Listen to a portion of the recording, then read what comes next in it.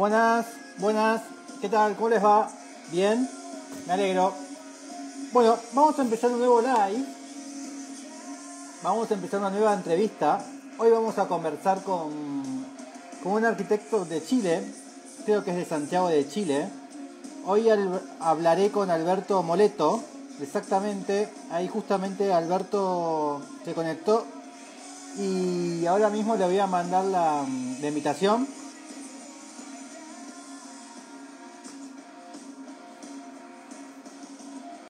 Em, así que ahí le mandé para, para que ponga ok y ya empecemos a transmitir juntos. Y, y vamos a empezar, así que en cualquier momento tiene que aparecer abajo mío. Eh, buenas. Hola. Tenés que, eh, que girar el celular. Así estamos eh, de costado. Espérate. No, el A ver lado. ¿Cómo lo...? Claro. Ahí, en vertical. ¿Cómo Sí, va? sí. Bien, ¿y tú? Bien, muy bien. ¿Estás en Santiago? ¿En Santiago de Chile? Estoy en Santiago, sí, claro. Bien. Sí. ¿Y qué tal estuvo hoy? ¿Fuiste a la cordillera hoy? ¿Fuiste a la cordillera hoy? Mm, No, vengo de la playa. Estaba fuera Ah. de Santiago el fin de semana. Así que estaba aprovechando el mar más que la cordillera por ahora. Bien. ¿Y el agua estaba fría? Sí, fría, claro. Sí, de lejos. Se, ¿Cómo, se cómo es? veía bien. ¿Y cómo es? ¿Cómo te, cómo te acostumbras al agua fría? Mirá que nosotros en, la costa argentina el agua también es fría, pero Sí, siempre. Es- Es que nunca hemos tenido otra agua, entonces es lo que hay. Es lo que hay. Siempre fría. te metes con el neopren, si no. En, eh, no, no, no, nunca. No. Tampoco Ah. nos metemos en, en invierno, nos metemos en verano, pero sigue siendo fría, 15 grados, 14 grados. Bien, Siempre es más o menos esa es la temperatura. bien. ¿Y han, han ido a, Valparaíso? Eh, no, no, no, en otra, en otra zona, eh, cercana, se llama Ah. Zapallar, Cachagua, esa zona, Maiponcillo. Es más o menos la misma distancia, pero un poco más al norte. Bien, bien. Y bueno, estuve mirando por ahí eh, que has Ya. trabajado con. ¿Has trabajado con, con, con Saja, con Saja Hadid? Sí, sí, sí, trabajé con Contanos ella. Ta- eh, Contanos una anécdota de ella antes de empezar. Uh, bueno, eso tenía, tenía esa pregunta, la 11. Eh, a ver, a mí me tocó en la última etapa de ella, antes que muriera, Bien. y me tocó construir, y me tocó trabajar en el aeropuerto de Beijing. No sé si lo has visto, un aeropuerto que inauguraron hace un par de años, yo creo que el año pasado. ¿En Beijing? En Beijing, sí, que es un terminal bastante grande, que parece una mano en planta. Y me Sí. tocó trabajar con ella, no, la verdad que la veíamos poco, pero, pero me tocó, mi, mi trabajo era más bien, eh, en el fondo, en un equipo que partíamos cuatro personas con el diseño y terminaron, no sé, 70 personas al final. Eh, y me tocó explicarle a ella, porque yo estaba a cargo de que esto funcionara, ese era como mi trabajo. Entonces habían todos gente que estaba modelando, yo tenía que ir dibujando más o menos que esto funcionara. Entonces me tocó en algún minuto al final conversar con ella del- de, de cómo funcionaba esto, más allá de cómo, de cómo era. Ella tenía súper claro cómo era, pero le- lo que le interesaba saber previo a ir a, a- a- a explicarlo a, a Beijing era, era ver el funcionamiento, esto que esto funcionara bien. Entonces era bien interesante cómo ella se metía en esa ¿Este? parte más que el re- Ese, exactamente. Ese era el- esa es la parte central. Ese, ese, ese mismo. Ese terminal tiene como 750 mil metros cuadrados más o menos. ¡Wow! Es una bestialidad. Eh, sí, claro, es enorme, enorme. Eh, es muy, muy grande. Entonces su, Ah, ¿cuán- su- la forma tiene que ver... ¿Cuántas puertas de embarque tiene? Para darnos una idea del tamaño. ¿Te acordás? Eh, mira, creo que eran ¿Un 70. aproximado? eh, ¿70 puertas? Como 70, 70, claro, puertas en las, en las mangas. A- aparte, Sí, sí. creo que podía estacionar ciento y algo. Ah, después, claro, después Pero tenés ese- los. Claro. Claro, los, los que están, los que están cerca y que te vas en un bus o te vas caminando. Sí, sí, pero, sí, sí. pero eran creo que 70. Mira, el proyecto final, esa es la primera etapa. El proyecto final tiene 1.200.000 metros cuadrados, que incluye otro terminal más cerca, pero, pero ese yo creo que tiene como 700.000 metros cuadrados. Qué bestialidad, ¿no? Más o menos de planta. Sí, claro, es enorme, enorme. Sí. Sí, claro, cada brazo debe tener 750 metros, una cosa así. ¿Y, y, y cómo, se justifica tan, eh, tanto movimiento tan grande China o también tiene como una superdimensión por la, por, porque piensan en 100 años? No, realmente tienen un problema tan de, necesidades muy importantes? Sí, claro, tienen un, tienen un tema de movilidad importante. El aeropuerto que hizo Foster ya estaba prácticamente saturado. Eh, entonces, este, este, en ese tiempo, este aeropuerto la idea era que tuviera los vuelos nacionales y el otro dejarlo más para vuelos internacionales. Entonces, había que ver, estaba justo abajo de Beijing, o sea, estaba el centro de Beijing, esto está hacia abajo, el de Foster está hacia arriba, y había que conectarlo con la ciudad, por lo tanto, hay un tema de cómo se conectaba con la ciudad. claro, es un tremendo animal, en el fondo. Sí. Es, muy grande, es muy grande. Yo no vi, la, la, no vi el inicio de la construcción, yo me fui antes. Me fui antes, de hecho cuando me fui el, mismo equipo que trabajamos acá fueron los que ganaron el, Estadio Olímpico de Tokio de las Olimpiadas, que después se los quitaron por temas políticos, pero, pero era el mismo equipo. ¿Y por qué te, fuiste, ¿y por qué te fuiste de, Porque me vine a Chile. no, no, ah. me vine a Chile. Yo quería volver a Chile en 2012. Ya llevaba cuatro o cinco años en Inglaterra, tiempo suficiente de volver. ¿Y, cómo, y, y, por qué fuiste a, por qué decidiste ir a Inglaterra? Porque estuve haciendo un magíster en la Architectural Association un año y después me quedé dando clases ahí y en otra universidad más que se llama East London. Estaba trabajando en estas dos universidades y después me aburrí del tema académico y me, a, me busqué trabajo en oficina y encontré, fue donde encontré, la verdad. Yo, yo tenía ganas de trabajar en, en la oficina John Posson, completamente al revés, y terminé trabajando en Saja por cosas del, destino en el fondo. Bien. Eh, ahí tenemos una. ¿Por qué publicaste esta, esta tapa de Domus? Porque es, eh, ese es la número, el último número de Domus y está un proyecto que acabamos de terminar, que es el Palacio Pereira adentro. Claro que es este. ese edificio, sí.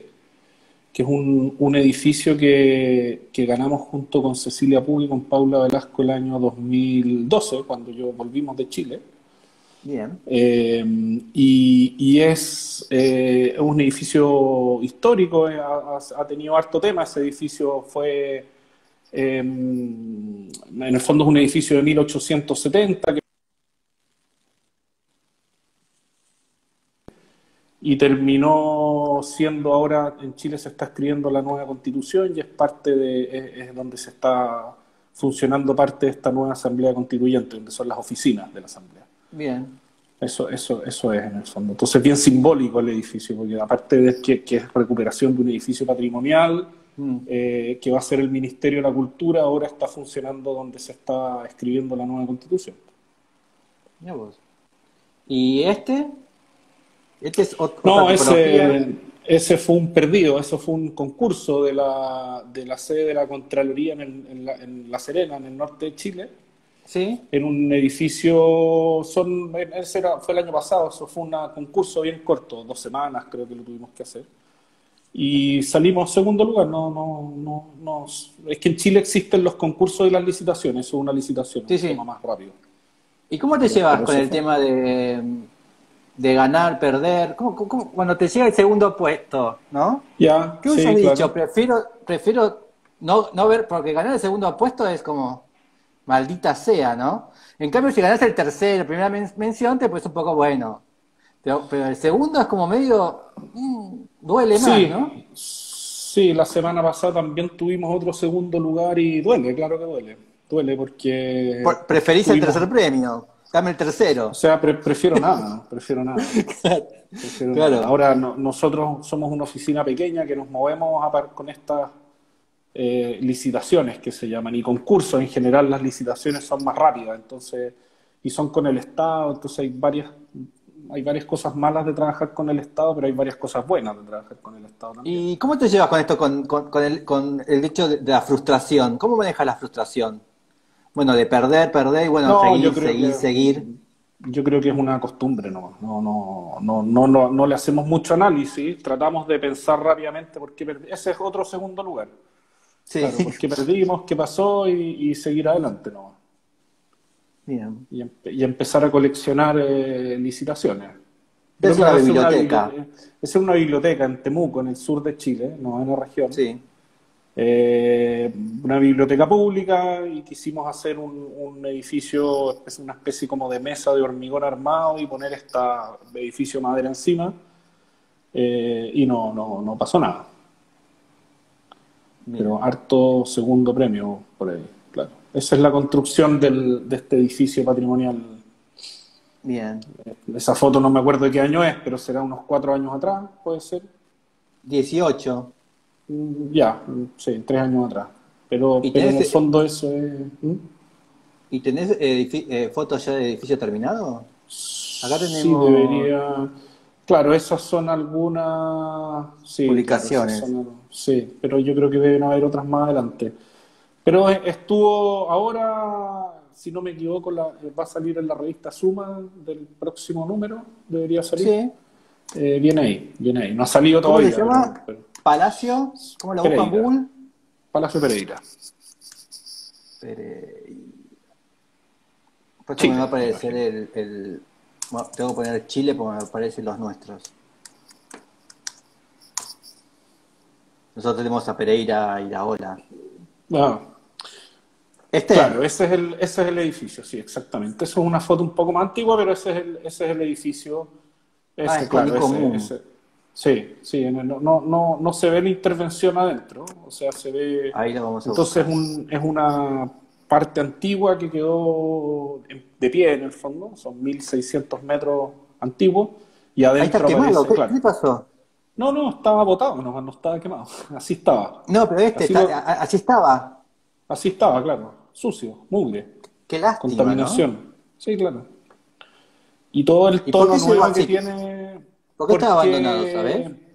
Sí, el, el, edificio tuvo muchos usos y dueños. El último, ya que lo terminó de matar, fue el año 82, por ahí lo compró una, una inmobiliaria que lo tuvo abandonado. Lo decretaron monumento nacional y el año 2011, yo te diría, se iba a hacer un proyecto que era hacer una torre de oficinas adentro del edificio, alta, horrible y ah, dejando la fachada limpia. Dejando la fachada, claro. Y ahí hubo un movimiento ciudadano y la municipalidad eh, y lograron revertir eso y lo compró el Estado y, para hacer este concurso. Que lo que pedían era, en el fondo, construir una serie de oficinas en el interior y que el edificio no sobrepasara la altura del, del edificio original. Que acá estamos viendo esta intervención que vemos acá, ¿no? claro, que son, que son esos elementos de hormigón que se ve, yo creo que en algunas fotos debe aparecer un patio adentro con unos pilares de hormigón eh, que están cada un metro cincuenta y ocho, por ejemplo. Es eso, claro, esa es la imagen del concurso. Bien. Y eso es lo que se construyó, o sea, se, es un poco la ventaja de los concursos, que uno construye lo que proyecta, no, no, hay, no hay grandes cambios en el desarrollo. Claro, esa es una imagen del del espacio interior, que eso estaba hecho una ruina. Bien. ¿Y cómo te llevaste con el tema de la, de la recuperación de patrimonio? Porque ese ya es, otro es otro tipo de trabajo, ¿no? ¿Cómo te llevaste con Sí, sí, bueno, trabajamos con un equipo, era un equipo bien multidisciplinario, habían eh, por supuesto los, los, arquitectos, que éramos tres, como te decía, la Cecilia, la Paula y yo, eh, estaban, teníamos tres asesores de patrimonio, un inglés que se llama Lan Chandler, que yo, ese también es del concurso, un personaje que yo había trabajado con él en Inglaterra.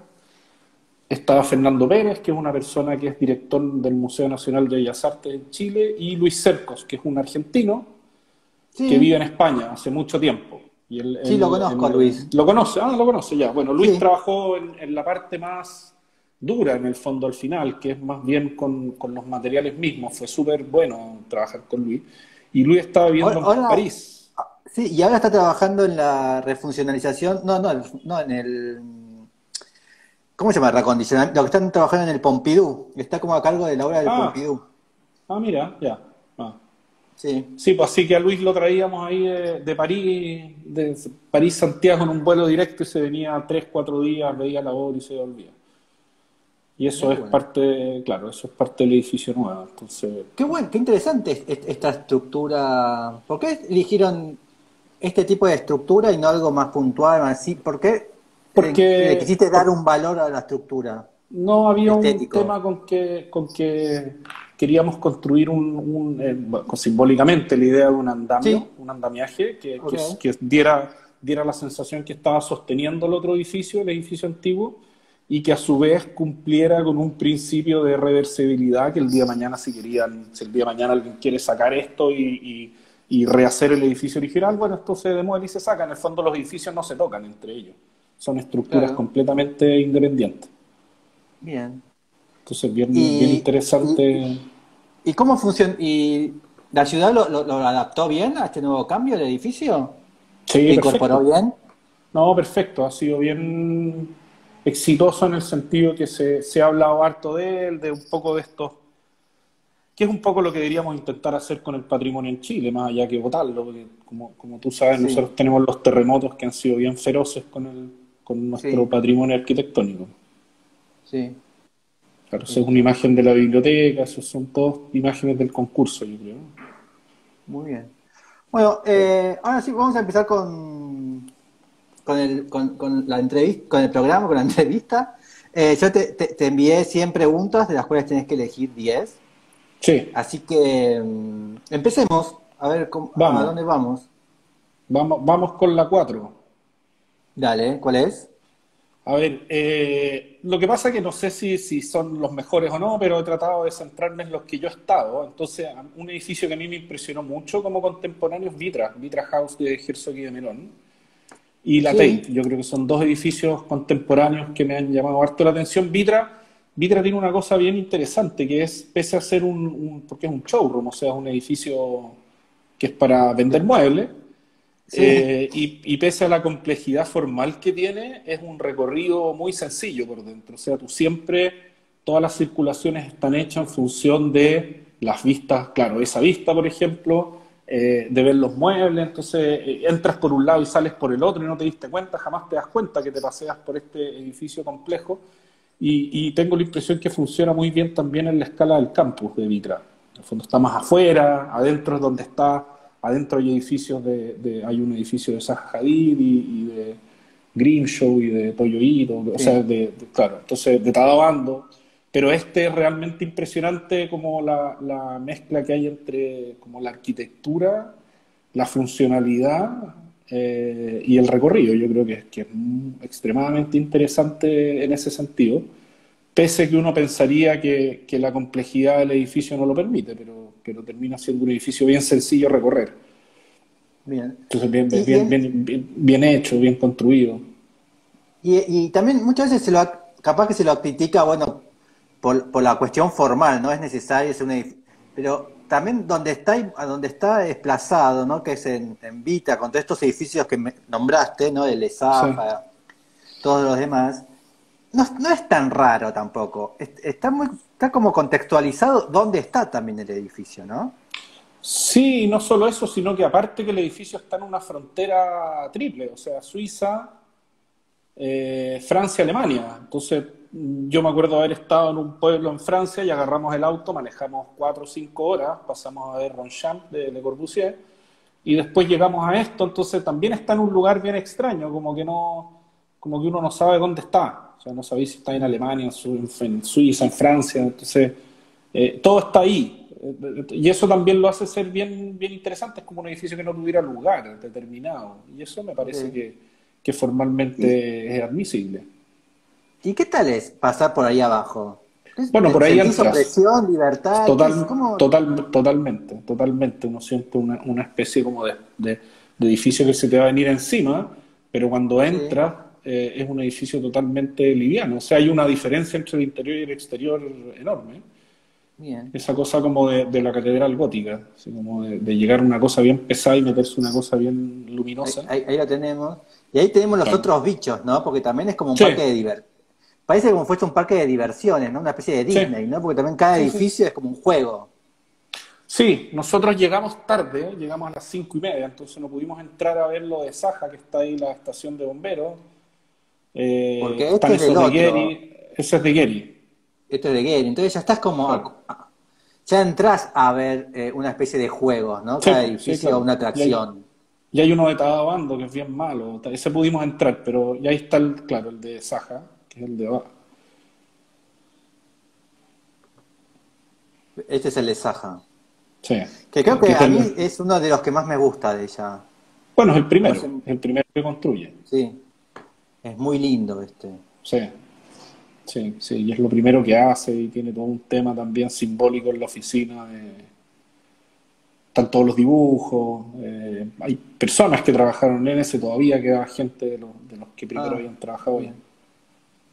Bien. Ah, acá está en construcción, mira. Sí. Bien. Vamos a la siguiente pregunta. La 8. Yo no yo me acuerdo, anoté los números, no me acuerdo las preguntas, así que tenéis que ayudarme ahí con la, con la pregunta. Pero la 8 ah. es, espérate, es atracción japonesa, algo así. Sí, puede ser, sí. Eh, espérame. Atracción turística japonesa. Yo, mira, más que, más que una. Yo he estado dos veces en Japón, en diferentes etapas de la vida y por diferentes razones. Eh, y la, una cosa que no es una atracción turística, pero sí una atracción turística más arquitectónica, es que me llamó mucho la atención, es la casa Moriyama de mm, Nichizawa. Eh, porque, de o sea, primero, Moriyama. Moriyama. Mori... con Y, Moriyama. Claro que tiene esta cosa como de aplicar esta idea como del map building a una escala menor, pero por otro lado... Ahí está. A, casa. Y, y, lo que tiene interesante es que uno toma el metro y camina por un barrio, te metes a un barrio muy japonés, o sea, un barrio que no es turístico, no hay nada turístico, o sea, es caminar con el teléfono para poder llegar a esto y de repente aparece la casa en la esquina muy apretada, claro, ahí, ahí, ahí claro, bien bonita esa imagen de la calle, eh, y que tiene carteles de que por favor no te pares en ciertos lugares a sacar fotos, que es una vivienda privada. Ah, y, es bien, eh, claro, porque es bien interesante la historia, ese es el dueño. Y lo que entiendo es que el dueño tiene, son distintas casas. Hay un documental que es muy bonito de este tipo. Y, ah, y son distintas casas y él, claro, él las va arrendando y, se cambia y vive en una y vive en otra. Y es un personaje que nunca ha salido a Japón, por ejemplo. Eh, y son todas unidades, es, un tema como bien atractivo, claro, esa es la escala. Y la escala, la verdad, que es muy pequeña. Uno no, no cuesta imaginarse lo pequeña que es, pero hay ciertas casas que están a un metro de distancia una con la otra. Entonces, si mm. bien no es una atracción turística, eh, desde el punto de vista como de la arquitectura lo es. Nosotros en ese segundo viaje fuimos a ver arquitectura, solamente fuimos a eso. Claro, y esa es la planta de la casa. Entonces son unidades, si te fijas, la de arriba, que está el baño por fuera, eh, las otras son, y unas están hacia arriba, otras están hacia abajo. Tiene, tiene un tema bien atractivo. Sí, es muy interesante. El documental es muy bueno, porque está este tipo como leyendo arriba, como que la casa pierde, la, pierde esa cosa como doméstica que uno entiende por casa, lo que nosotros los latinos entendemos por casa, no, los japoneses tienen otra idea de casa. Sí. Así que, bueno, eh, y antes, eh, bueno, eh, mencionaste la TED Gallery, que bueno, no, no, seguimos porque muchas, ya lo he mostrado muchas veces. Y si vas a la Tate Gallery, por eso me acordé esto de, dónde sacar fotos, si no en Tokio, cuando vas a, al, último piso de la Tate, te piden por favor que nos saques fotos al edificio de enfrente de Roger, de, dice Rogers. de Rogers, sí, sí, claro, claro. Pero me, gusta mucho este, esta relación que, ¿no? Que, justo que acá en Japón como que esté lo mismo, ¿no? Los turistas, por favor, turistas, no saquen fotos a las casas. Es que claro, esta casa era un... De hecho la sacaron de Google. O sea, si tú ves en Google, yo me acuerdo, no sé si Google Maps en esa época, en, esa época, cuando yo estuve allá, tú te metías en la planta y estaba borrosa, no estaba la planta de la casa. Entonces no era tan ah. fácil, la, habían eliminado. Eh, pero claro, lo de Rogers también pasa exactamente lo mismo. Yo, yo, la ampliación de la tape lo hicieron cuando yo ya vivía en Chile, pero volví y me tocó ver y ver el cartel, por favor no pasen. A mí me da la impresión que en algún minuto lo van a cerrar eso, pero pero evidentemente, claro, la transparencia del edificio uno ve hasta lo que están comiendo los personajes de al lado. También me llamó la atención ese, ese tema. Pero en Japón no, no, yo creo que ese tema no es tema, están bien acostumbrados como los holandeses. Pero, pero sí es que en Moriyama era muy evidente porque la gente tendía a entrar. Entonces, ah. aparte que el cartel no estaba puesto en, en, el muro, sino que estaba puesto en una silla, estas de Bertoya, de, aluminio, eh, tejido, y ahí estaba puesto el cartel. También había una suerte como de diseño incluso en cómo ponían el cartel. Mm. Es verdad eso que, que, aclarás de los, de los holandeses, ¿no? Porque estando en Ámsterdam, vos vas caminando y las bajas son casi siempre es, es un paño un paño fijo de vidrio, ¿no? Sumamente transparente, sin cortinas, sin nada.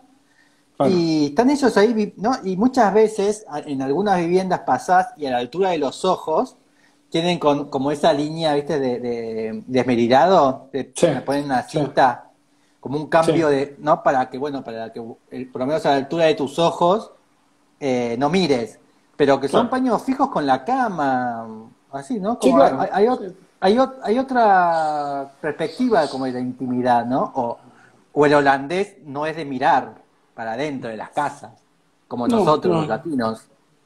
No, y también tienen un tema con la poca luz, o sea, tienen tan poca luz durante el año que, que cualquier ventana yo creo que es muy bienvenida. También yo creo que hay algo de eso en... Pero claro, no tienen esa cosa como de andar cerrándose. Mm.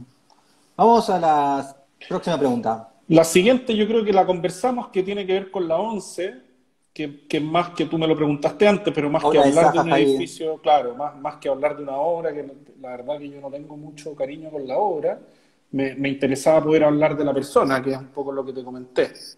Eh, Bien. Y, y, evidentemente que, que existe, que, que, en el fondo es una oficina, había mucha gente, yo, yo era más raro, yo venía de paso, pero había mucha gente que había trabajado con, había, me acuerdo, un amigo colombiano que había trabajado con OMA y que había trabajado con Herzog y de Merón, y ellos se venían a esta oficina porque había libertad, libertad de diseño, o sea, efectivamente uno se hace cargo de... Claro, a mí me tocó ir al edificio al lado, a China, a visita de obra, al que tienes a la este. derecha, ¿eh? no, el de al lado. Ese, ese. Tuve que ir a una visita porque estábamos, cuando estábamos haciendo el, el aeropuerto, tuve que ir a, una reunión en China y aprovechamos de ver este edificio que está en construcción, que es enorme, enorme, enorme, enorme, eh, y es de una empresa que le ha encargado varios edificios en Beijing. Eso tiene 500.000 metros, una cosa monstruosa. Unas plantas muy profundas. Y está, pero estaba en obra gruesa, estaban justo empezando a poner el revestimiento. Entonces la obra gruesa muy mal construida y después llega en el fondo el, revestimiento y soluciona todos los problemas constructivos chinos. Claro. Entonces estábamos haciendo un concurso del museo que perdimos, que creo que ganó Jan Noel. Eh, ¿Y qué tal es eh, eh, estas obras chinas? Vas acá y son tan espectaculares o de golpe son las ves y, cae el reboque. ¿Cómo, a ver, esta terminación de esas gigantes, cosas gigantes? Lo, que pasa es que tienen una, una, eh, hay una cosa, en ese tiempo, yo no sé cómo ha cambiado, pero es bien interesante porque tú como arquitecto extranjero no puedes dirigir la obra, entonces tienes un, un, instituto de diseño que se llaman, que son las oficinas chinas que están autorizadas por el Estado para dirigir la obra. Pero las oficinas más grandes, como Saja o Herzog y Merón, eh, Jan Nouvel y varias, ellos hacen un contrato por terminaciones. Entonces, en el fondo, se meten en el tema de terminaciones, cosa de tener un cierto control de la imagen final del edificio. Eh, ah. Y, pasaba que no, me acuerdo bien el concurso del museo, que fue el NAMOC, el Museo de Arte Contemporáneo de China, que estaba en el sitio al lado del, del nido pájaro, del, del estadio, que ganó Jan Noel finalmente. Eh, Herzog y se retiró del concurso en la final porque no le aseguraban con los costos de construcción que tenían disponibles que ellos podían hacer lo que ellos querían hacer en el fondo. Entonces, de, partieron un edificio, un concurso que partieron 20 y terminaron 4. Eh, y se lo llevaron a Jan Nubel finalmente. Pero, pero yo creo que, mira, el, el, el, estadio está en súper buen estado, pero funcionaba otra cosa. Había como una feria de niños, de con monos de nieve y la piscina estaba bien a mal traer, la piscina estaba más, estaba más deteriorada. Ah. Eh, pero sí, es bien impactante recorrer Beijing y, ver el, el CCTV de, OMA, que yo estaba alojando muy cerca de ahí, eh, la visita a los edificios de Saja, este edificio de, de, ¿cómo se llama este arquitecto americano que tiene el edificio unido por arriba por este puente? Eh, pero sí, hay como una de, de Stephen Hall, claro. Hay una, una mezcla de, Claro, yo estaba muy cerca del CCTV, pero con, con, con, la contaminación no, no, se veía, pues, hasta que de repente un día despejó y se apareció el edificio a tres cuadras de donde yo estaba. ¿En serio? Sí, claro, son seis cuadras, no sé, pero no. Mega cuadras. ¿Tanta contaminación hay? Sí, sí. Sí, de hecho, en el, mucha de la, de la conversación que teníamos con respecto al color del aeropuerto era ese tema, que en el fondo nosotros podíamos querer una cubierta blanca o plateada, pero resulta que eh, al, al, poco tiempo iba a ser un desastre porque, porque en el fondo con la contaminación iba a quedar negra, por eso que aparece ese color en el fondo. Pero claro, todo es, todo es grande, todo es, no sé, el, el, el museo tenía, en planta tenía 240 metros por eh, 40 de ancho, una cosa así. Sí, son unas escalas que para nosotros es como imposible de comprender, ¿no? Claro, totalmente. No, no, era, era otra cosa. Ahí está bien la contaminación, esa foto? Sí. Tormenta de arena. Con, ahí. Sí. Sí, sí. Y la... Mm, sí, era interesante, pero es interesante China, interesante esa cosa como de, de trabajar con, los, con, los, con las oficinas chinas también. Bien. ¿Y cómo se, cómo se lleva esta imagen y, la, y esta, ¿no? ¿Cómo, se llevan esas dos imágenes de lo super, de lo super contemporáneo y esa cuestión clásica religiosa china? Sí, yo creo que es que yo creo que hay zonas donde están todas estas, esta, que es como la ciudad prohibida y todo lo que está alrededor, que hay varios hutones que le llaman, que son estas casas como tradicionales japonesas que están bastante protegidas pero en el resto han arrasado con lo que pillan. En el ah. fondo votan y votan y votan y construyen y construyen. Ahora hay una, también hay una cantidad de construcción de muy mala calidad, o sea, como cosas que no tienen ningún valor. No es que te Yo me imagino que más en, ciudades más, bueno, son todas estas ciudades nuevas. O sea, yo estuve en Shenzhen también una vez, por la Bienal, que nos invitaron a, hacer un curso. Y, y, ahí no, es una ciudad que el año 78 no existía. O sea, habían 100.000 personas y ahora hay 20 millones. Entonces ahí construyen no total lo mismo, no, no hay nada, no, no, no, hay, no hay una ciudad histórica en el fondo, no existe. Beijing es distinto, Beijing lo tiene. Beijing está más controlado, tiene los anillos, estos anillos, eh, en el fondo es una ciudad que se, que se hace por anillos, tiene todo este tema simbólico del centro, etcétera, etcétera. Bien, vamos a la próxima pregunta. 17 es la esquina de Oxford Street. Esquina de, de Oxford Street, sí. Sí.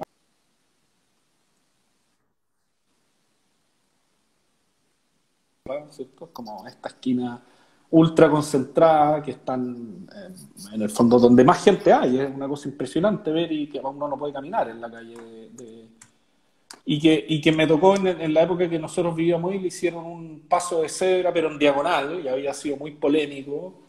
Eh, sí. Como la, la, cantidad de plata que se habían gastado los ingleses, siempre están muy preocupados de la plata, entonces de lo que se habían gastado con este paso. Pero es una esquina bien, ahí, en el fondo. ¿Cuál es? Oxford Street y. Oxford Street con Piccadilly Circus. Ah. Es la, esquina genérica. Sí, claro, es como el, es como el centro de, de, Londres. Podría ser uno de los centros, de Londres, claro. No tienen mucho, no tienen, no tienen la idea como latina del centro. Eh, pero a mí me parecía que era fascinante el, lugar, en el fondo. Sobre todo por la vida. ¿Y por qué eh, pensaste en ella? Porque, porque la verdad que el resto de las esquinas de Oxford son esquinas eh, normales, o sea, son todas increíbles, una mejor que la otra, depende del edificio antiguo que haya, están almacenes muy antiguos, pero, pero tengo la impresión que esa pica, aparte que pica, la vista, en pica, cuando uno mira por Piccadilly, hacia Piccadilly Circus, que es la plaza, eh, y uno agarra una foto de 1860, es exactamente lo mismo, o sea, no ha cambiado. Eso es muy, es muy atractivo. Ese, eh, yo creo que en ese sentido los ingleses son muy cuidadosos y muy respetuosos. Por eso yo veía un poco la, entrevista de, de, de, Cristian la semana pasada y él eh, como que no le encajaba a Londres, hablaba de Londres que no le encajaba, que lo encontraba como... Pero yo, que, claro, él, estuvo en, en, Nueva York, entonces es distinto. A mí me encaja perfectamente Londres y me parece que parte de, de la convivencia de, que tiene como la arquitectura contemporánea en Inglaterra es... hay ciertos lugares que lo han mantenido. Yo creo que Oxford con Piccadilly es uno de esos lugares, siendo súper turístico y, Sí, sí él, él decía como que eh, Londres la, ubicaba así como un montón de, pueblitos, ¿no? Como una pues, ciudad que era de muchos barrios. Claro, eso, bueno, eso es. O sea, está hecha de esa manera. Yo creo que esa no está, sí, está más o menos cerca de la esquina. Ese, bueno, Londres es una ciudad que se hace de pueblos, o sea, son pueblos que se conectan eh, y de hecho el caos vial, o sea, tú miras un mapa en Inglaterra y de Londres imposible entenderlo y tiene que ver con esto que cuando eran pueblos y se queman en el 1600, eh, hay un plan de ordenar Londres, hay una idea que lo quieren ordenar y todos estos como señores feudales, entre comillas, dicen, ya, perfecto, ordenémoslo, pero no, no pasen por mi casa. Y ahí empiezan y, termina pasando eso, pues nadie quiere que le pasen por ahí, y termina Londres siendo como es, y cada, y cada barrio es bien particular en el fondo. Y tú eres de un barrio, no eres de la ciudad, o sea, los de allá son de un barrio, yo soy de Chelsea, soy del este, soy de, no sé, donde quieran, pero yo soy de ese lugar y ese es el barrio, no es, no es la ciudad en el fondo. y aparece, claro, uno, uno, uno, empieza a caminar, claro, es Regent Street con, con, con Oxford, esa sería la esquina. Y uno empieza a caminar y de repente aparece, no sé, pues aparece este edificio de los Smithson que está por ahí, que es el Economist. Y, más cerca de la cita hay un edificio de OMA que pasa muy desapercibido. Es una ciudad que ha tenido cierto cuidado. Bueno, hacer un edificio son años y años de negociación con el municipio. Sí. Ahí está. Y aparte también la altura, ¿no? Que tiene. Bueno, aunque también la, aunque son varios barrios, pero, pero Londres tiene como, salvo estas cuestiones de, de donde están las grandes torres, siempre la altura es la misma, ¿no? Estos tres pisos, cuatro pisos, ¿no? Y, no, no, eh, no, no, salís de ahí, ¿no? Sí, o sea, hay lugares que son, no sé, todo lo que está cerca de Victoria tienen mayores alturas. Yo creo que lo han ido flexibilizando un poco, pero, pero las grandes torres las han concentrado en la City y en, y en Canary Wharf y, y, también alrededor del, del, del, Hyde Park, que está este edificio de Rogers nuevo, que o sea, nuevo, que debe tener unos 10 años, un edificio de vivienda. Eh, mm. Y aparecen algunos edificios más altos, pero son por, también no, no aparecen en la mitad de la nada, sino que son áreas que tienen edificios de mayor altura. Bien, bien. ¿Y, y cuando vivías en Londres, dónde hacías las compras? Eh, en la esquina de la casa, ¿no? No así como compras de comida. Yo vivía en el West. No, digo, compras de, de, consumo, ropa y todo esto. ¿Dónde ibas? ¿A un, mall? ¿O ibas, caminabas por, la calle, por, Oxford? la calle. Ah. Caminabas por Oxford y alguna tienda, porque yo la, la universidad está ahí, está muy cerca, entonces el centro era muy común para mí. me movía en bicicleta, entonces uno iba al centro y la calle, porque la, la importancia, a diferencia de otros bueno, Buenos Aires también lo tiene un poco, no sé cómo estará ahora, mm. pero, pero la importancia de la calle. En Chile no, no, las grandes tiendas no están en la calle, están en un mall, en un interior. En, Inglaterra están en, tiendas, o sea, como Milán, ¿cierto? Todas en la vereda, es como ir a Milán, ¿cierto? Caminas por Milán y están las tiendas en, edificios antiguos y todo lo que quieres. Entonces, claro, esa puede ser Mac, la de abajo puede ser, la al lado puede ser Nike, no tengo idea. Son, son, es lo que Claro, hay unos cafés, etcétera, etcétera. Sí, sí. Sí, en Buenos Aires también, si querés ir a, las marcas como importantes o demás, eh, sí, tenés que ir al, shopping, al mall, eh, para la ropa y eso. Pero después sí, haces todo en la, en la calle. En eso nos, nos hemos como, hemos seguido bastante al sistema americano, ¿no? Ahí al, supermercado, ¿no? Al Jumbo, como tienen ustedes, al Farabela, todas esas cosas. Sí, claro. Casi siempre en, la, en la vereda los locales están capaz las marcas más, eh, más accesibles o, no tan de renombre. bueno, claro, como que pierde importancia el tema de la calle. Yo vivo muy cerca y tengo la oficina muy cerca de, de un edificio de un argentino, de César Peli, que es como la torre más alta de Santiago y creo de Sudamérica. Y es un interior, o sea, no, no, no, hicieron, no le hicieron nada al borde de la calle, una cosa bien extraña. pero, pero bueno, es, como funciona. Sí. Es lo que hay. Vamos a la, vamos a la próxima. 23. Sí. 23 ciudades latinoamericanas. Bien. Aquí puse dos. Puse una que es como nosotros, yo me, me, eduqué en la universidad con profesores que decían que Brasil era lo peor del mundo, eh, hasta que me tocó ir a Brasil y lo encontré bien fascinante. No, no, no, encontré que todo lo que me habían dicho de Brasilia no era así. Em, de hecho, caminé por Brasilia por, por todos ¿será lados. Porque te dije, ¿Será porque te dijeron que era espantoso y cuando fuiste te encantó? Viste que a veces suceden esas cosas. No, porque estaba todo este tema del auto, ¿cierto? Que era una, una ciudad hecha para el auto, que no, no, había escala humana, y yo encontré que había escala humana, otra escala, pero, pero había, o sea, una cosa completamente mm. distinta a lo que nos estábamos habituados. Y me pareció una ciudad fascinante. Estuve dos días, tres días, y la otra ciudad que puse es Lima. A mí Lima me, parece increíble, pese a que es una ciudad que está bien venida menos. Eh, Lima me parece una ciudad fascinante, con, ese centro histórico eh, que al lado del centro de Chile es un, centro de verdad. El de Chile es pequeño, poco, poco, poco edificio antiguo, en cambio que el centro de Lima es muy potente. Eh, y tiene lugares como Barranco y tiene esta sensación con la costa, esta costa que no aparece que nadie la toma mm. mucho en cuenta, pero, pero que de a poco se está empezando a abrir, y, esa cosa latina como, del desorden que no funciona, pero en realidad funciona, y la gastronomía, entonces me, parece que Lima es una ciudad fascinante y que afortunadamente en el último tiempo ha estado, bueno, pre-COVID, eh, se empezó como a internacionalizar Lima, se, se puso entretenida, estaba bueno Lima. Y con todo este desastre, claro, igual, claro, ese es el centro, la, la plaza histórica. Y nosotros hicimos un, un taller, talleres como el estudio en arquitectura en la Universidad Católica, que yo hago clases, hicimos un, el último semestre que se pudo salir, que fue el segundo semestre del 2019, con los alumnos fuimos a Lima, fuimos a trabajar en Lima, en un, en un edificio histórico en el centro. hicimos un, un, taller ahí. Claro, es en la plaza, lo, o sea, otra calidad en el fondo, y tiene tiene como dos plazas importantes y esas plazas tienen estilos arquitectónicos bien, bien diferentes. Claro, esa es la plaza como de armas principal. Eh, y un centro bien, claro, eso es muy, todo este tema de los balcones coloniales, las iglesias, una... Y después está Barranco, que es como el barrio bohemio y, más antiguo, que también lo han tratado como de ir revitalizando. Y uno va a ir a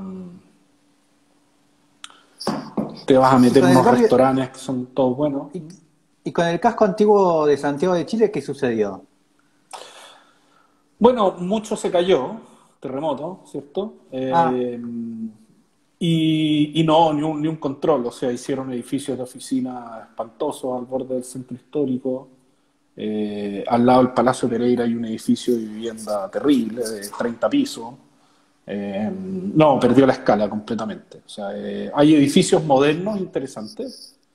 Eh, quedan ciertos edificios históricos que han tratado de protegerlos, pero entre medio aparecen cosas que no tienen ningún valor. Ahí está y, Lima, y claro, ese es el albor de Lima, y Lima también tiene este, este, esta cosa rara de este edificio de las Grafton, de estas arquitectas irlandesas, creo que son, que es esta universidad, que, que está creo que arriba de esa imagen. Entonces, se ha ido Lima de a poco se está tomando este, este borde mar. ¿Que este decís el UPN? No, el UPN no eh, No, no, no es el UPN, no, es otro. No, no es ese. No, no, mira. Habría que poner Grafton Lima y aparecería. Pero también tiene una escala como brutalista. Eh, y tiene también algunos edificios interesantes en la Universidad Católica. Adentro hay varios edificios que son bien atractivos, edificios este. contemporáneos. Ese, ese, ese, ese, Sí, sí. Interesante el edificio. De, es fue una apuesta, fue, fue un concurso abierto. Eso fue un concurso abierto. Yo me acuerdo de haber sido el año 2012, 2008, 2009, no sé. Yo incluso con mi oficina antigua pensamos en inscribirnos en su minuto. Pero, pero es un edificio bien atractivo de, recorrerlo. Ah. Vamos a, la, otra pregunta. 27.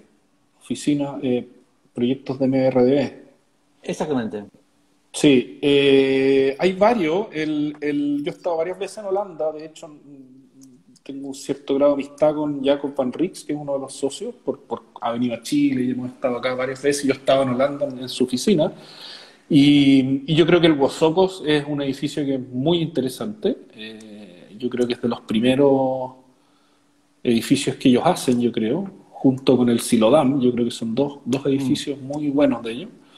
Eh, que abren el marrón este, es este, ¿no? Sí. El de madera. El marrón, sí, sí, claro. Sí. Sí. Sí, aparte que tiene este programa del asilo anciano y esta cosa como, o sea, como viviendas de tercera edad y esta cosa como que no les cabían las viviendas, entonces las colgaron. Eh, y, y es, es, es, bien interesante como el, el, edificio que estaba bien afuera de Ámsterdam y ahora la ciudad, yo estaba, no sé, tres veces en ese edificio creo que la primera el año 2006 y estuve el 2019 también. Y, y la ciudad ha ido, como, ha ido acercándose al edificio. Y, y, el edificio está perfecto, es bien, bien atractivo. Y el otro es el Silodam, que es el edificio que está más en el centro de Ámsterdam, que está en el, en el agua. Sí. Y tiene esta cosa muy bonita como de las tipologías en el fondo. O sea, esta, esta idea que... Porque, porque este que están mostrando ahora es más es un programa, es un programa, ¿cierto? Son viviendas de gente de tercera edad, perfecto, eso está bien. Pero el Silodam tiene una mezcla de programas y de tipología, que es algo que ellos sí. empezaron a trabajar hace 20 años atrás y, y, hasta el día de hoy lo siguen trabajando. Sí, acá eh, lo, que tienen, que... lo que tienen en común es, el, en este caso sería el, el color, ¿no? Usar el, el color como, como diferenciación claro. de algo. Claro. Ahí vamos al Silo, Silodam, ¿no? Silo, Silodam, Silo, Silodam, Silodam, Silodam, sí. Eh, sí, bueno, estos dos fueron como sus caballitos de batalla, ¿no? Como su, sí, pues, fueron los, los, claro, son los primeros que hacen y que los y es bien interesante porque ellos, claro, los ponen en el mapa y ellos trabajan en una, compartían una oficina con mucha gente, entonces cuando ganan esto, uno de estos dos él contaba que lo, lo, hablaban con el resto de las oficinas para que le hicieran creer al cliente que trabajaban con ellos, cosa que no pensaran que eran tres tipos solos trabajando. Eh, y ahora tienen una oficina en Rotterdam, muy, es una, acaban de cambiarse hace poco, una oficina increíble en Rotterdam, en un edificio antiguo, eh, y son 350 personas están construyendo en todo el mundo. Es una, es una oficina wow. muy, muy interesante de la manera que trabajan que, que, yo creo que Sudamérica es el único lugar donde no han entrado todavía. No, no, no sé. No, no, no han entrado a Sudamérica, no. Aún no. Y es difícil acá, no sé si, si tienen, si se puede, hay este volumen de edificios, ¿no? Yo creo que ahora sí. Nosotros con él estuvimos en reuniones con otra, con inmobiliaria, eh, pero justo vino en Chile el estallido social y después la pandemia. Son pero, pero en Chile Foster está haciendo un edificio. Eh, hay, hay, hay, oficinas internas. Mecano hizo un, un master plan bastante grande. Eh, hay oficinas, hay mercado ahora. Yo creo que empieza a haber un. Bueno, en, en Buenos Aires también. Pues Foster ha hecho tres edificios, sí. yo creo, o tres edificios. Sí. Esa es, la, esa es, la, oficina. Son sí, chiquititos, claro. Pero son, pero son edificios que que tienen lo mismo que ellos, que se trabajan, en, bueno, en Buenos Aires está Frigerio, que es el, el, el que representa la oficina, pero los, los, todos se hacen en Inglaterra en el fondo. Mm. Um, y están haciendo en Chile algo también, uno o dos edificios. Y en Rosario están haciendo un master plan Foster también. También, claro. Ah. Urbanístico. Pero... Sí, yo creo que es importante, o sea, me parece interesante que estas oficinas también se puedan meter en... Bueno, en Brasil, Herzog y de Merón hizo un edificio, creo. Sí. Saja tenía un hotel proyectado que al final no se hizo. Ah, acá están haciendo un edificio ahora de Saja. ¿En Buenos Aires? Sí, pero, feo, sí. Ah. Pero es un edificio cuadrado con una, con una curva adelante, nada más. Ya, claro, bueno. Sí. Es, hay que, no hay que vender. No, no, no, les dio el presupuesto. No, Le pusieron solamente el, el, el Zaha Hadid en, en, el cartel y listo. Yo creo que ni, ni ella sabía que están, estaban haciendo un edificio en Buenos Aires. Bueno, hay muchas cosas que ya no sabía que se hacían en la oficina. Y ahí, ahí sí, queda, no. bueno, yo creo que... Este. Bueno. Ah, mira, no sabía. Sí. Sí, claro, muy típico. Sí, pero después lo- ahora, ahora lo están construyendo y es, es nada, como es- es- no tiene casi nada, no tiene mucho que... Mm. Claro, esas curvas, esas curvas son muy típicas de las fachadas. Lo mismo que hicieron en, en, eh, en Nueva York. El de Nueva York es bien parecido, pero claro, el de Nueva York está metido en el Highline, tiene una cosa más, Bueno, y, ah, eh, acá lo tenemos, y una, una anécdota que- para contarte. ¿Viste ese edificio que está acá? ¿Sí? Bueno, cuando empezaron las, las bases de este, de este edificio, eh, es- le cedieron, la- le cedieron la- la- las bases de este lado y el edificio se descalzó y como cayó un poquito, se rajó todo y, y lo tuvieron, y, y a toda la, a la gente que vive ahí lo tuvieron que mandar tipo hoteles, ¿no? Para vivir porque el edificio no, no lo pueden, no lo pueden solucionar. No sé si lo tienen que demoler, no sé qué, qué hay. Y, y parece que hay un señor, no sé, del, del quinto piso, algo así, un vecino, que, que exigía tipo ir a vivir a un hotel de seis, cinco o seis estrellas, ¿no? Tipo, eligió el hotel donde quería que lo manden. Y la señora dijo, no, no, no, vamos a ir a un edificio según su, su, su, su capacidad. No, no, no, yo quiero uno de, no sé. Y bueno, entraron en juicio, claro, porque ahora los tipos quieren vivir donde ellos quieren, ¿no? Donde, al hotel que los querían mandar estos. Así que hay un, tiene un lío bastante grande. Bueno, oficinas Esas grandes están llenas de lío. Esas cosas impensadas, ¿no? ¿Cómo puedes pensar que, que te va a descalzar el vecino, ¿no? Bueno, eso pasa cuando uno trabaja como en contexto, de hecho son los socalzados y todo, un tremendo tema acá en Chile también de cómo soportar los edificios vecinos. Ahí nos dicen, Peter Sumter proyectó un hotel en Atacama. Sí. Me bueno. Sí, hace, hace harto tiempo, sí. Sí, Fue bien esquemático, llegó como está en el libro de Sumter. Eh, sí, se, se hizo un, un hotel en, en Atacama. Nosotros- yo tengo una amiga que trabajó en ese proyecto, en la oficina Sumter. Personaje especial, muy especial. Sí, ¿no? A ver, va- vamos a buscarlo, Atacama. Atacama Uy, tengo no ganas de ir, a San Pedro. Sí, no sé si habrán imágenes. Está en el libro de Sumter estos cinco tomos, pero es, es un... es- ya, ¿Eso es? puede ser, sí, puede ser. Sí, sí, creo que sí. Ahí está. ¿Pero está construido? No, no, no, no, no, no, no. Ah. Un- fue una, una idea y se, creo que se desarrolló y no sé qué quedó. ¿Y qué te parece ocho quebradas en, en Chile? ¿Qué, qué pensás de, ese ejercicio de llamar a arquitectos de Star System que hagan una casa y vos compres la casa hecha ya? A ver, es un, es un, el, la segunda etapa, que es lo de los vilos, porque la primera etapa fue con arquitectos chilenos en Marbella, Ah. es bien ambiciosa, pero tiene, pero, pero independiente de ser ambicioso, es bien astuto también. O sea, en el fondo este, este personaje eh, que, que hace esto, eh, cree en lo que está haciendo, o sea, cree 100% en eso, y, y de hecho la casa de Nishizawa es la de él en el fondo. Bien Ah, él increíble. vive, ah, ah, la vive Él- ahí, él está él. Sí, sí, claro, él Ah. está. Eh, Es, es muy linda esta casa. sí, es muy bonita esa casa, muy bonita. Y está la de Elemental también al lado. Sí. Eh, y después hay toda una etapa de, de casas arriba que son que él hizo una invitación a gente más joven, entre comillas, y que ahí, claro, era una idea que tú proponías una casa y esa casa después se, se iba a vender, pero no, no, no ha funcionado tanto, la verdad. Nosotros hicimos un proyecto arriba hace mucho tiempo y no, Ah. una- no, no- no funcionó mucho el modelo en el fondo, pero, pero claro, yo creo que la de Nishizawa es bien interesante. No sé en qué están las otras. O sea, yo sé que Max Núñez estaba haciendo una, se estaba construyendo, la de Aravena está construida y no sé qué pasa con el resto. Esta es la de las venas, ¿no? Esa es la de Aravena, sí. ¿Y qué te parece eso? Me parece curiosa. eh, la, la vi, fui, fui adentro, entré y todo. Ay, ¿qué tal es? Eh, mejor por fuera que por dentro. Ok.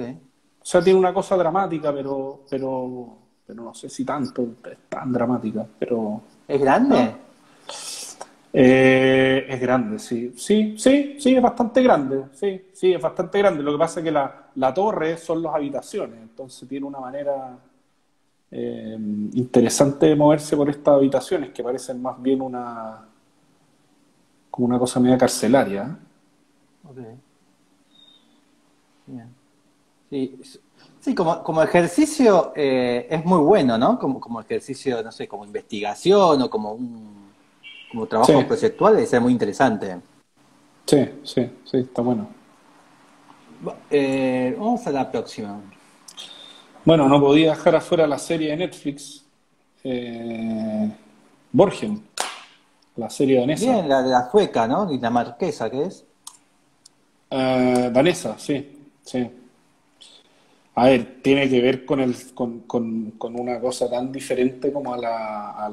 No la terminé de ver, pero es muy buena. No, no, es muy buena, hay que terminarla. El, esta cosa como del culebreo político danés, que es tan lejano al nuestro. Sí. Eh, como que la gente que tiene el poder es tan normal, ¿cierto? Como no es, no, es lo que pasa en Chile y no es lo que pasa en Argentina, me imagino. No, y además me encanta que, que por ejemplo, los casos de corrupción daneses es que el primer ministro le compró una cartera en Londres a la mujer y no la declaró. Es maravilloso. Pero porque, pero porque no tenía la, pero porque no tenía la tarjeta, porque después la pagó en el fondo, o sea, no, no es que, no Pero digo que el, el, el, escándalo de corrupción es ese.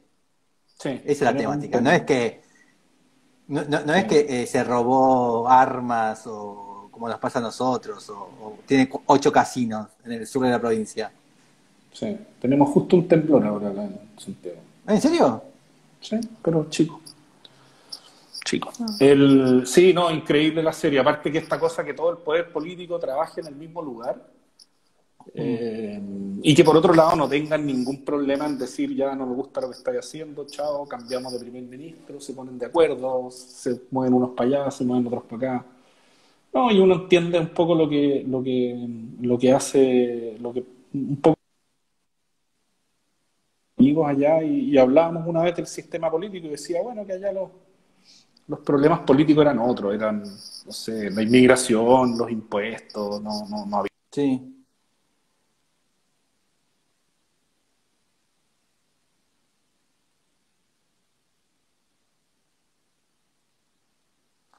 A ver, eh, a ver si volvemos. El temblor parece que tembló las redes, eh, las redes de internet. Eh, a ver si, si vuelve. ¿O soy yo?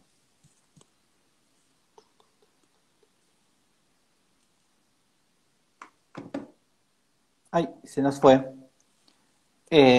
parece que fue fuerte el temblor. Ahora vamos a a volver a invitarlo.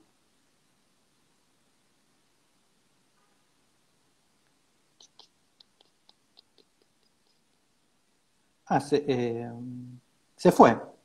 Vamos a ver si, si vuelve a ingresar. Y seguimos.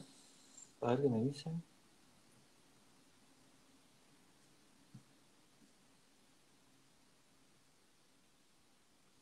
Voy a mandar el, la invitación.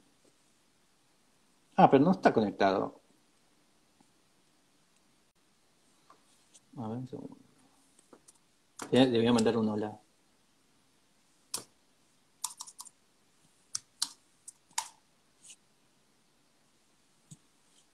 A ver, ¿qué pasó?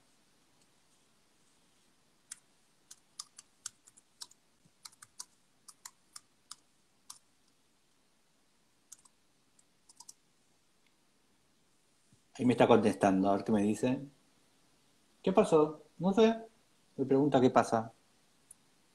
Sí, ahí entro, a ver. Sigo acá.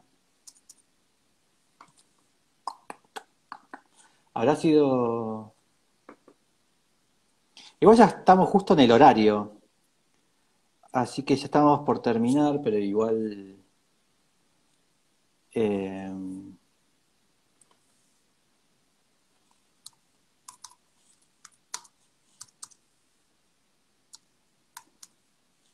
Ah, se, le mandó este coso por acá.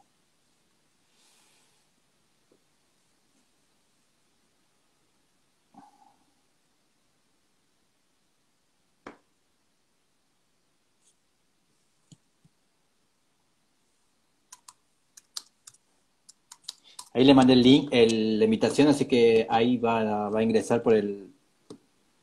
Le mandé ahí el link para que se conecte de vuelta. Y, y listo. A ver si lo ve.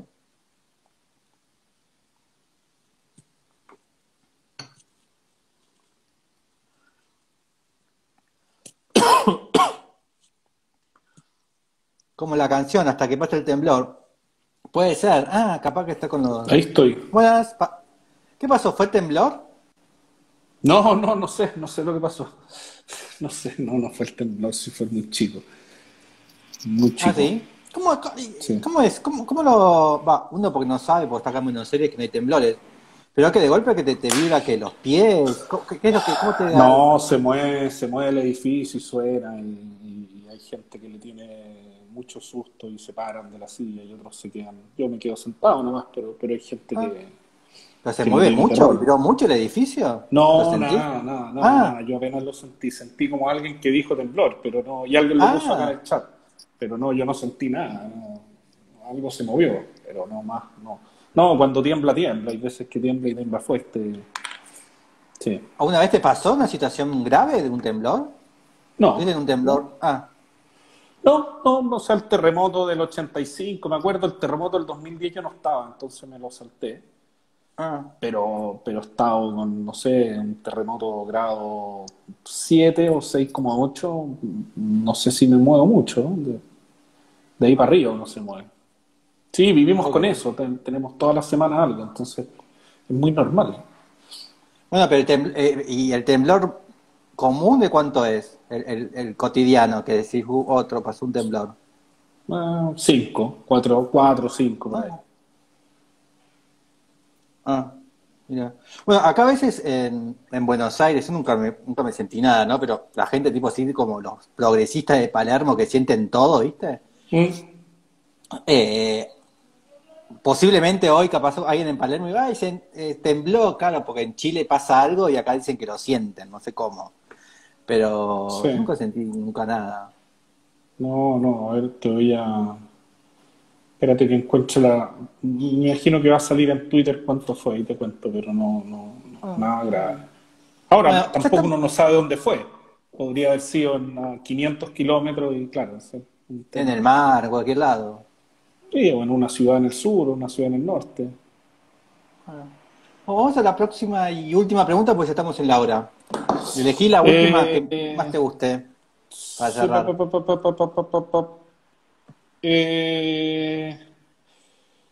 A ver, la 68, que es el edificio Paladio. El edificio Paladio. Bien.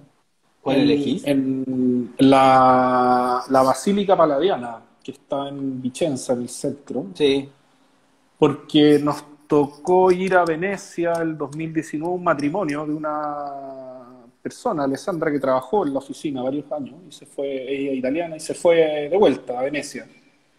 Eh, fuimos al matrimonio y, y ella, que había estudiado arquitectura allá, claro, nos llevó a, a ver la rotonda, fuimos a ver este teatro de Palladio y terminamos en esta basílica paladiana que era realmente impresionante, el, el- porque la rotonda es lo que uno conoce, ¿sí? todos conocemos la rotonda, todos han hablado de la rotonda. Eh, está bien, pero, pero tampoco pudimos entrar, entonces no, no- no tengo mucha relación con la... O sea, me pareció bien, un lugar bonito, bien emplazado y todo, pero la, la, la Basílica Palladiana basílica. encontré que era realmente incre- increíble y sobre todo el último piso. Este espacio que tiene, eh, completamente abierto, como diáfano, era, era muy, muy espectacular. Y la relación con la plaza, o sea, estaba todo, como todo bien en el fondo, un edificio bien, eh, bien eh, conmovedor, bien impresionante, bien impresionante. Yo no lo conocía, yo había estado una vez en Vicenza, no, no, pero aparte que ir con, con una persona que estudió arquitectura en Venecia, que las clases de Palladio no eran por libros, sino que eran, eran, eh, eran en, en- en terreno, eh, fue muy bonito estar ahí, muy, muy, y sobre todo este último nivel, claro, eso. ¿Este? espacio. Sí, sí, sí, ese espacio es increíble. ¿Qué Y, y creo que nos to-? ¿Qué es? Es como un, creo que era como un museo, no sé, pero estaba vacío, en ese estaba vacío. Estaba- entonces era bien bonita esta cuestión limpia. en el fondo. Eh, claro. Así que cuando vos fuiste estaba así, pura. Sí, estaba así, sí, sí. sí. Es un multiespacio que- de Mies van der Rohe. Funciona Claro, para, claro, para todo. Claro, totalmente, totalmente, totalmente. Entonces, ahí es donde uno empieza a entender eh, como la relación de ciertos arquitectos modernistas con, con- con el patrimonio que ellos vivieron y, y que efectivamente pareciera ser un espacio de, de, de Mies. Un poco lo que multifuncional, ¿no? Claro, sí, totalmente multifuncional. Bueno, O sea, acá lo le que- pusieron como una especie de pantalla que puede ser una pantalla de cine, ¿no? Una proyección. Sí. Sí, Ahí la aparte que tenemos. cada vez hay menos espacios como generosos Ah, en la pero escala, sobre todo en altura. Es madera, ¿no? Ma- madera, sí, arriba es madera. Arriba es Qué madera. lindo. Sí, muy bonito. ¿Y la escala de qué tamaño es esto? Es, impo- es una tam- Oh, sí, es una escala bastante, sí, sí, es imponente, es grande, o sea, los arcos deben tener 5 metros. No, claro, todo es, es otra escala, pues otro, otro mundo. Mirá qué linda esa imagen. Y la tenemos, mira, el café. Sí, claro, había un restaurante arriba. Aparte que yo creo que fue las últimas veces que nos pudimos mover. Ese, ese viaje fue de los últimos, de las últimas salidas. Bien. Después nos encerramos todos. ¿Cómo estuvo Chile en, en tema pandemia? ¿Cómo lo sentiste? Mal, mal, estuvo mal, tuvo mucha,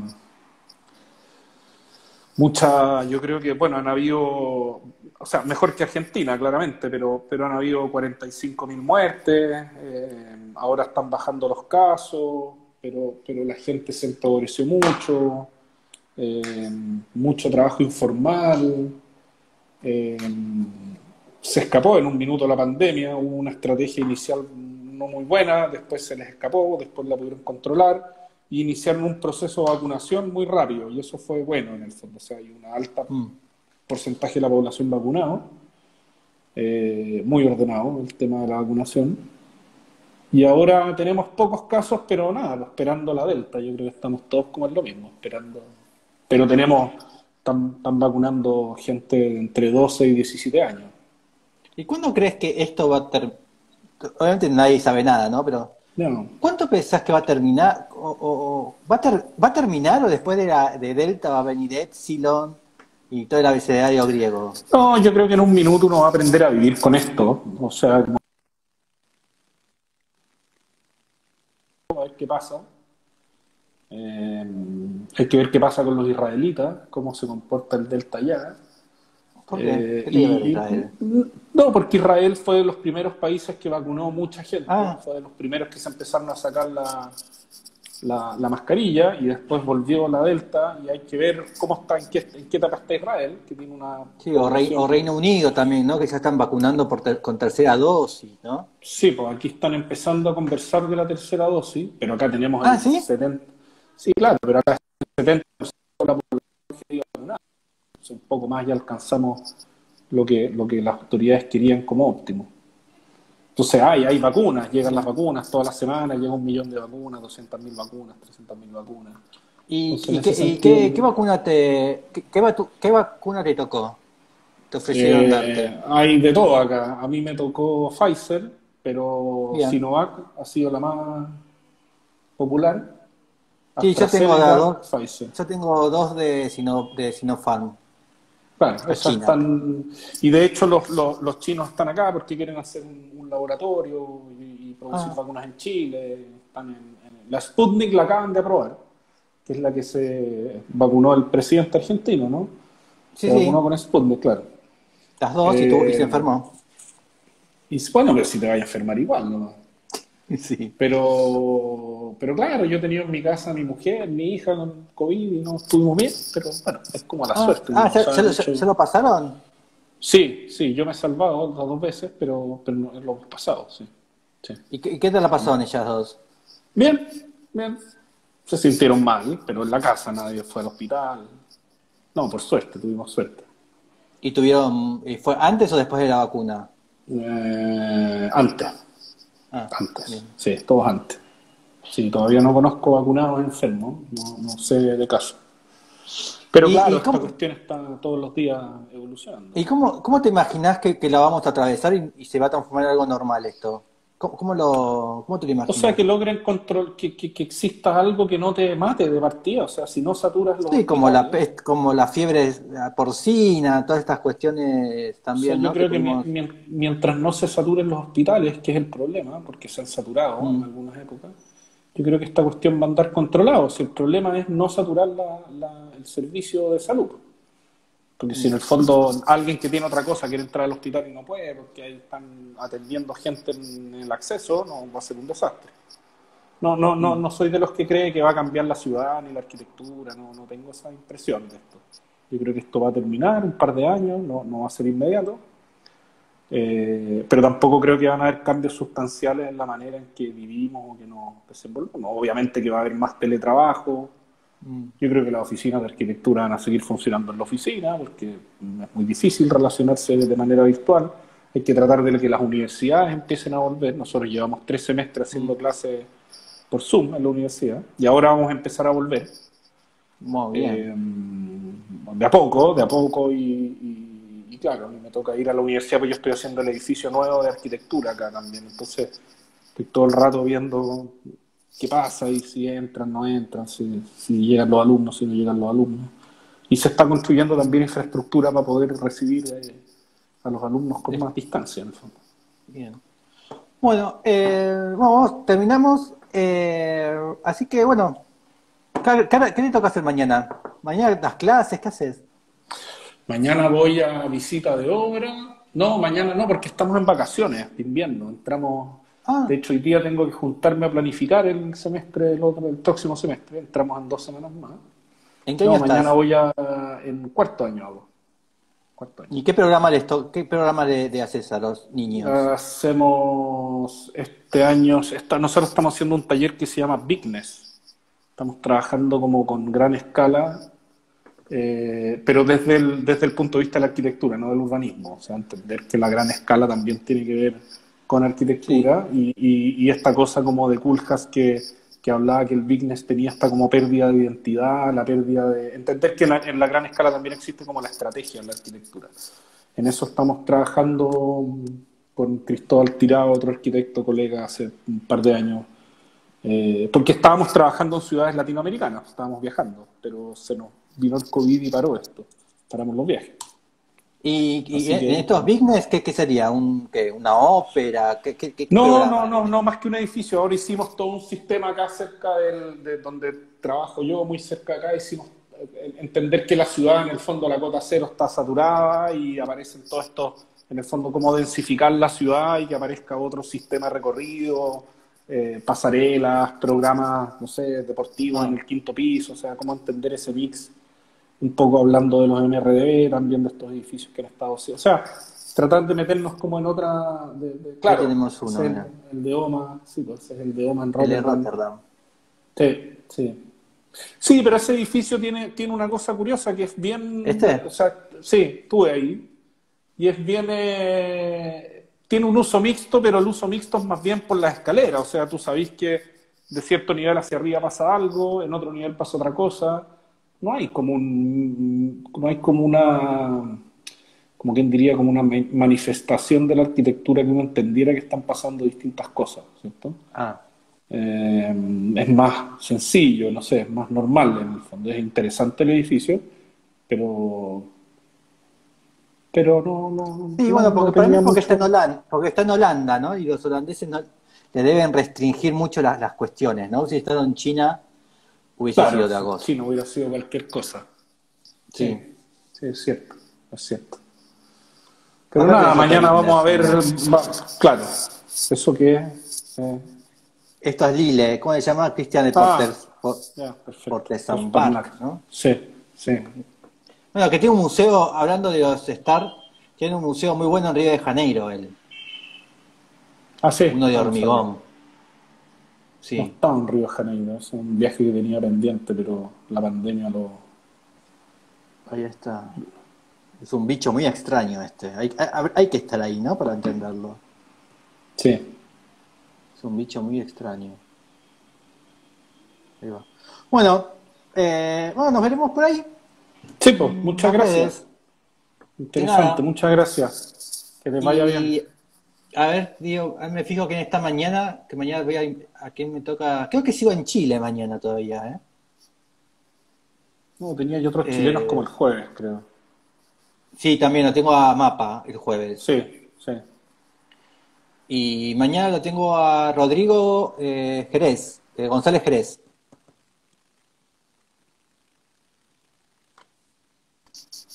Así que mañana estoy con, con, Rodrigo, con Rodrigo González Jerez. ¿Lo, ¿lo conoces? No. No. Bueno, Valenzuela Jerez, perdón, Valenzuela Jerez. Así, así que mañana estoy con él. Sí, Valenzuela Jerez. Así que bueno, muchísimas gracias y nos vemos por ahí.